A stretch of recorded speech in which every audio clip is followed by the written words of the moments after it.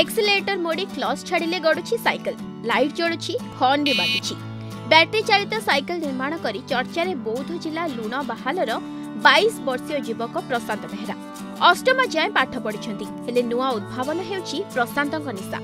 পেশারে সে জনে ধান মিল অপরেটর ইউট্যুব্রু দেখি অনলাইনরু আবশ্যকীয় সামগ্রী কিনি তৈরি করছেন এক ব্যাটেরি সাইকেল মাত্র তেরু পনেরো হাজার টঙ্কা ব্যয়ের এই সাইকেল তৈরি করছেন প্রশান্ত ঘণ্টায় চার্জ কলে প্রায় তিরিশ কিলোমিটর যাচ্ছে সাইকেল লকডাউন তো পড়িছে তিন চার মাস ঘরে ন বসি রহলি কিছু কাম ধন্দা কিছু নাই মোবাইলরে নেট তো হেমতি চালুছে সবুবেলে দেখলি ইউট্যুবরে দেখুছে ব্যাটেরি চালুছে সাইকেল ତାହେଲେ ମୋର ମୁଣ୍ଡେ ଗଲା ଗୋଟେ ବୁଦ୍ଧି ଜୁଟିଲା ମୁଇଁ ଗଲା କରିବି ନିଶ୍ଚିତ କରିବି ଯେମିତି ହେଲେ କରିବି ବୋଲିକି ଗୋଟେ ବ୍ୟାଟେରୀ ଚାଳିତ ସାଇକେଲରେ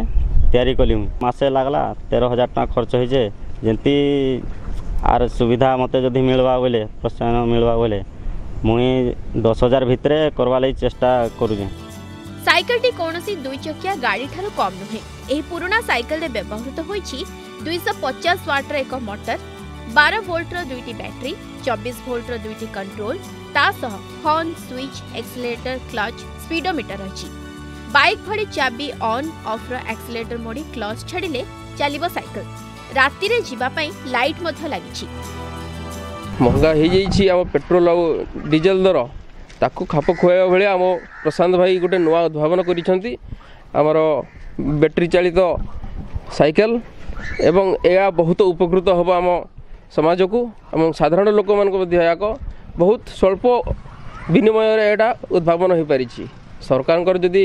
ଟିକେ ପ୍ରୋତ୍ସାହନ ମିଳନ୍ତା ତାହେଲେ ସେ ଆହୁରି ଆଗକୁ ବଢ଼ିପାରିବେ ଏବଂ ନୂତନ ନୂତନ ଉଦ୍ଭାବନ କରିପାରିବେ ଦିନକୁ ଦିନ ଯାନବାହନ ଯୋଗୁଁ ବାୟୁ ପ୍ରଦୂଷଣ ତଥା ତୈଳ ଦର ବୃଦ୍ଧିକୁ କିଛି ମାତ୍ରାରେ ଏହା କମାଇବାରେ ସହାୟକ ହେବ ବୋଲି କହିଛନ୍ତି ପ୍ରଶାନ୍ତ ପ୍ରଶାନ୍ତଙ୍କ ଏହି ଉଦ୍ଭାବନକୁ ନେଇ ପ୍ରଶଂସାର ସୁଅ ଛୁଟୁଛି ବୌଦ୍ଧରୁ ଶାଶ୍ୱତ ଦାସଙ୍କ ରିପୋର୍ଟ ଅର୍ଗସ୍ ନ୍ୟୁଜ୍